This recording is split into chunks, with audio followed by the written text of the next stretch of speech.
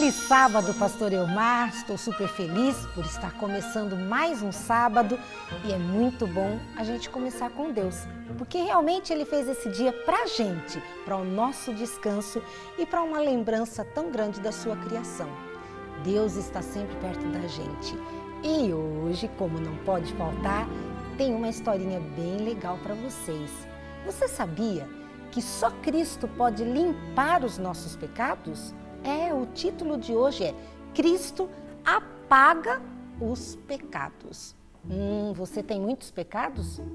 Na realidade, todo mundo é um pecador. Todos são pecadores. Desde que o pecado entrou no mundo. Infelizmente, a gente tem que conviver com isso. Eu tenho aqui comigo, vou mostrar para você, uma folha. O que, que tem nessa folha aqui? Eu vou mostrar aqui na telinha para vocês. Ó. Que, que a gente tem nessa folha? Dá para você ver? Hum, nossa, parece que ela está riscada. Vamos dizer assim, ela está suja, né? Porque isso não é nem desenho, não é nada. E como que a gente pode limpar essa folha? Sabe como que a gente pode limpar? Com isso aqui, ó. Eu risquei com isso aqui com um lápis.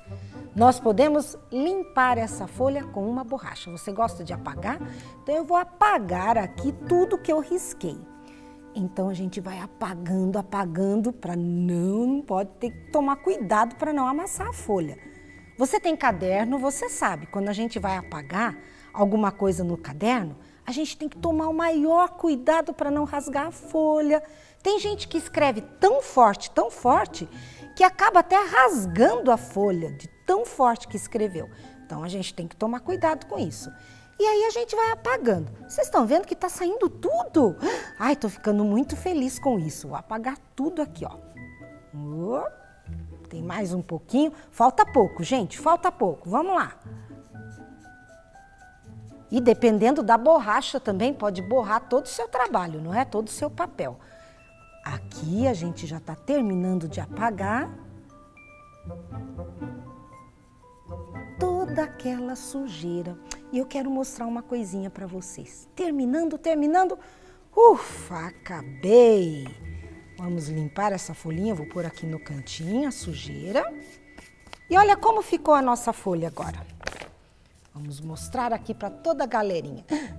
Ficou limpa minha folha. Olha só. Sabe o que acontece? Quando Deus criou esse mundo, nossa, nosso corpo, nossa vida, nossa mente era como essa folha de papel, limpinha, limpinha, branquinha, sem nada de mancha. Mas por causa do pecado, como eu falei no início, o pecado entrou no mundo e começou a manchar a nossa vida. Muitas vezes por escolhas que fazemos. Isso tudo representa, aqui representa a nossa mente, o nosso corpo, aquilo que Deus criou. O lápis, riscando a folha, posso fazer riscos e mais riscos, é o pecado entrando na nossa vida. Só que Jesus, eu vou falar que Jesus representa a borrachinha aqui na minha mão. Um pouco suja a minha borrachinha, né? Mas não tem problema. O importante é que ela limpa, ela tira todos os pecados, ela limpa toda a sujeira do papel e limpa também os pecados. Jesus é essa borracha. Eu sou essa folha de papel, que também pode ficar sujinha, manchadinha. Jesus vem com a borracha, limpa todos os meus pecados. Que coisa maravilhosa a gente ter um Deus que limpa os nossos pecados. Na Bíblia, eu tenho uma Bíblia aqui comigo.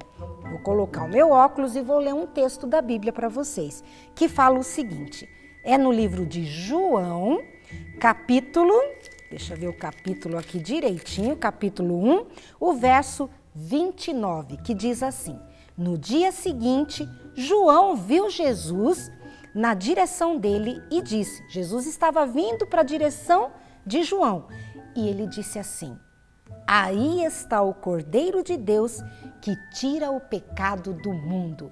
Jesus é o Cordeiro de Deus que tira o pecado do mundo. Agradeça a Ele a cada dia, porque se você fizer alguma coisinha de errado, você pode pedir perdão, que Ele vai perdoar seus pecados. Ok? Que Deus te abençoe, te dê um sábado muito feliz e radiante perto de Jesus e te encontro no próximo Feliz Sábado.